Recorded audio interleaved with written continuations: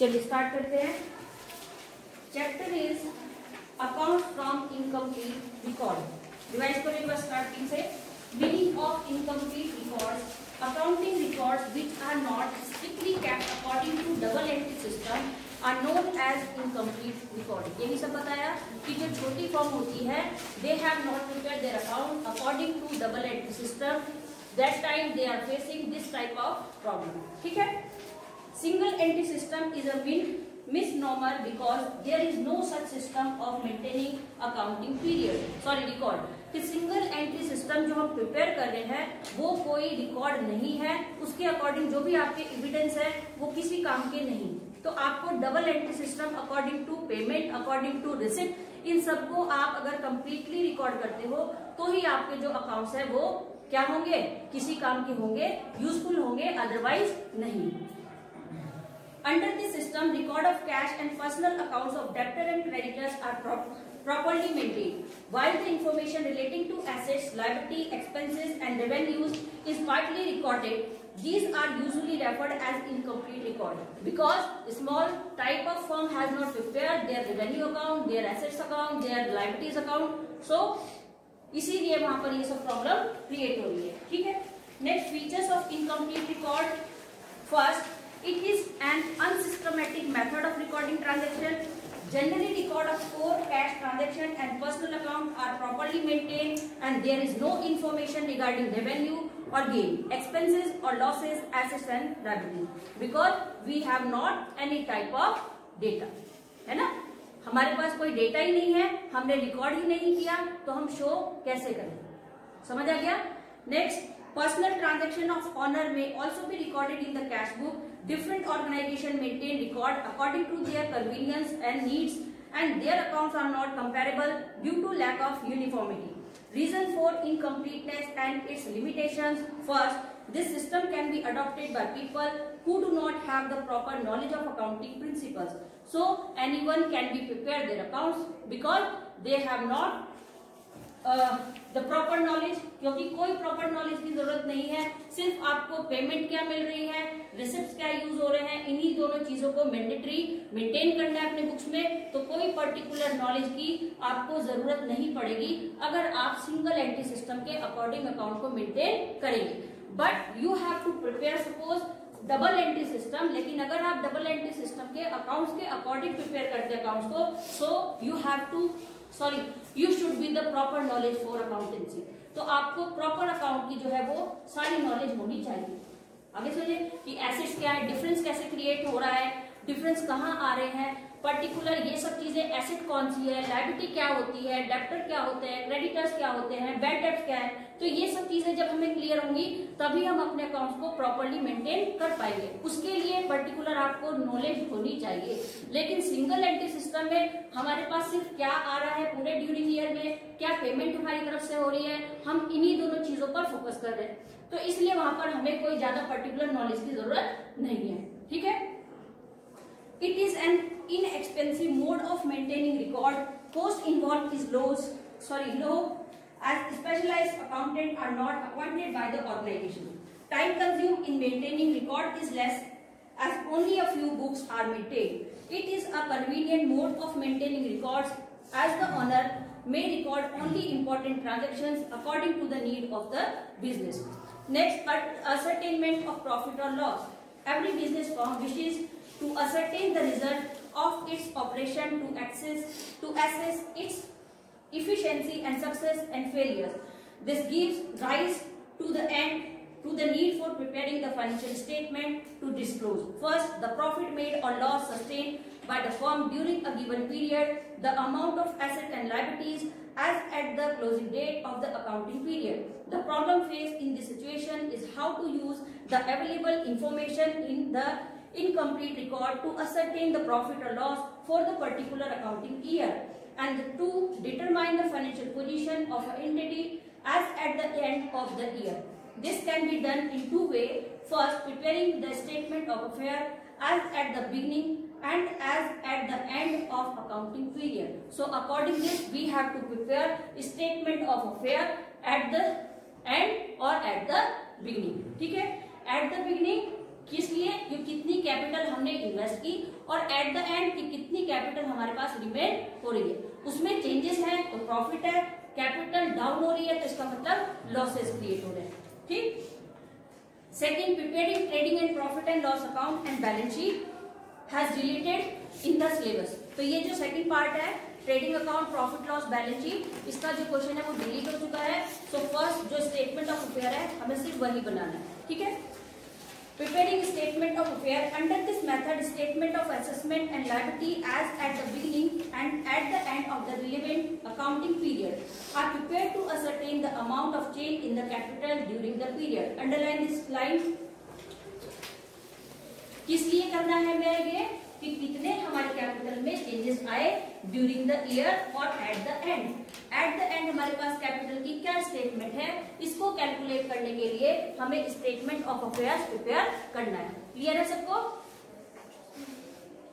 Show assets on one side and the liabilities on the other just as in case of a balance sheet so we have to prepare assets किसके अकॉर्डिंग बनाएँगे हम इसको?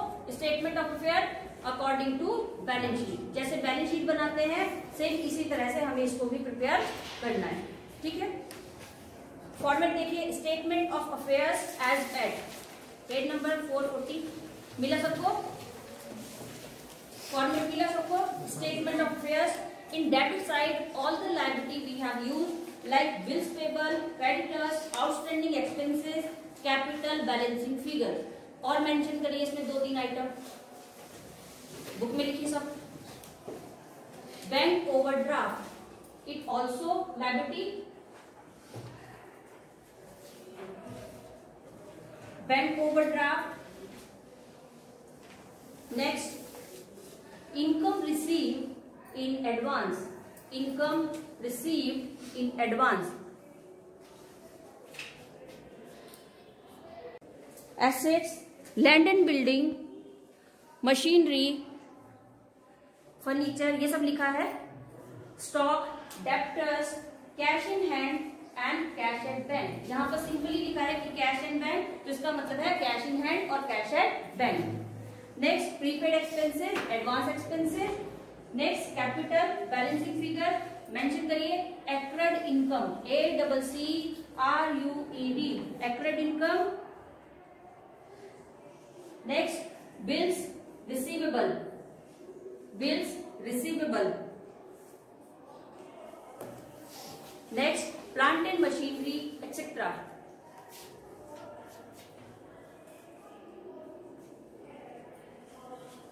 done clear हो गया? तो ये पहले हमें एक स्टेटमेंट ऑफ़ अफेयर बनाना है according to balance sheet liabilities और एसेट्स को इक्वल करना है। अब इसके नीचे देखिए।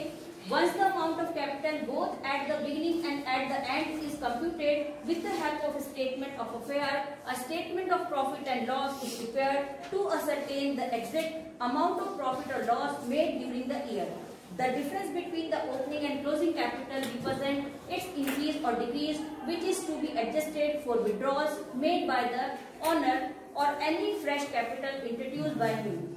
During the accounting period, in order to arrive at the time at the amount of profit और loss made during the period तो यहाँ से इसने कहा कि जो भी capital at the end remain हो जाएगी तो उससे हमें पता चलेगा कि क्या हमारे अचीवमेंट ड्यूरिंग ईयर हुए। प्रॉफिट हमें मिला या फिर नहीं। लॉस भी आएगा, ऐसा नहीं है कि प्रॉफिट ही आएगा।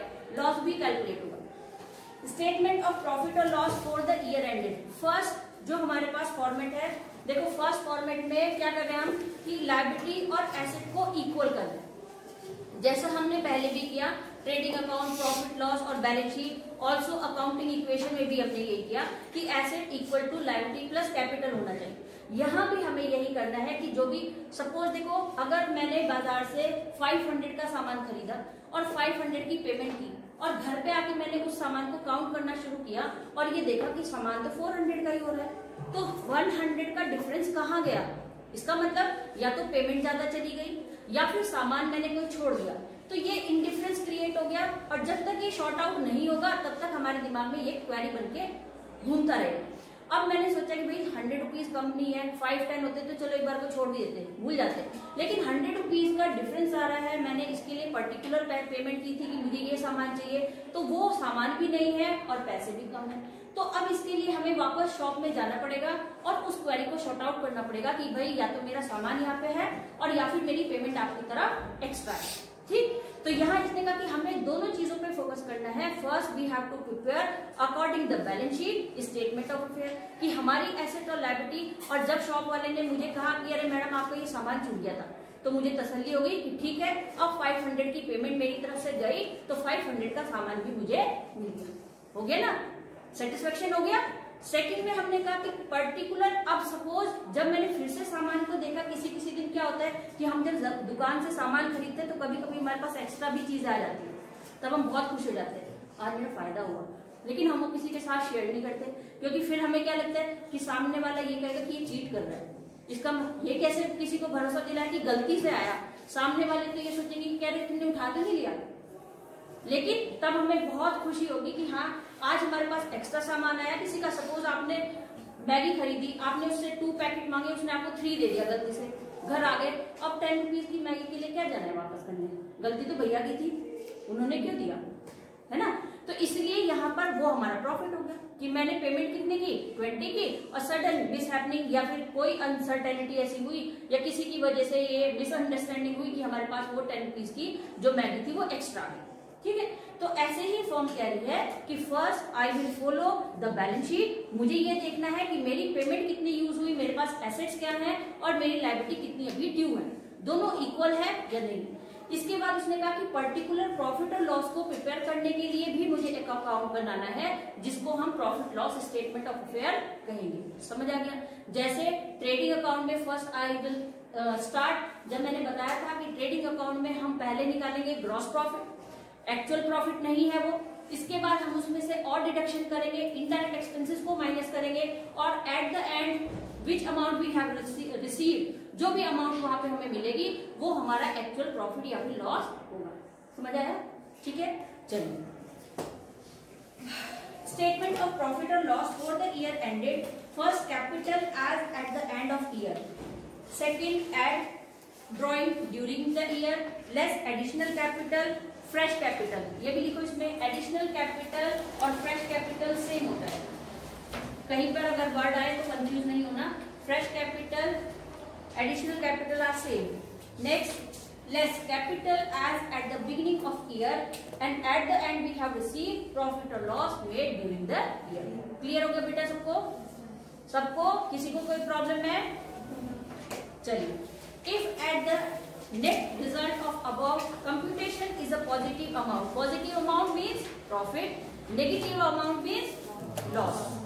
It represents the profit earned during the year. In case the net result a, is a negative amount, it would, it would represent the loss sustained during the year. The same computation can be done in the form of an equation as follows. Profit or loss is equals to capital at the end minus capital at the beginning plus drawing ये हमने कल follow किया था। देखो यहाँ पर ये alternate एक इक्वेशन में शो किया है और यहाँ इसका एक पर्टिकुलर फॉर्मेट बनाया सेम चीज़ें हैं। ध्यान से पढ़ो एक बार देखो। फॉर्मेट में यही सारी चीज़ें रिपीट हो रही हैं और यहाँ हम इसको एक सिंपल इक्वेशन में भी यूज़ कर सकते हैं। ठीक है? अल्टरनेट में। कोई बात नहीं। Done next capital at the beginning of year April first now the question is For example, consider the following information extracted from the record of MSC2. Capital at the beginning of year 1st April 2010, 1 lakh 20,000. Capital at the end, March 31st 2011, 2 lakh. Capital brought in by the proprietor during the year, this is additional capital. ठीक है additional capital है ये 50,000. Withdrawals, drawings by the proprietor during the year 30,000. The profit for the year will be calculated as for solution भी है, पढ़िए सब बच्चे।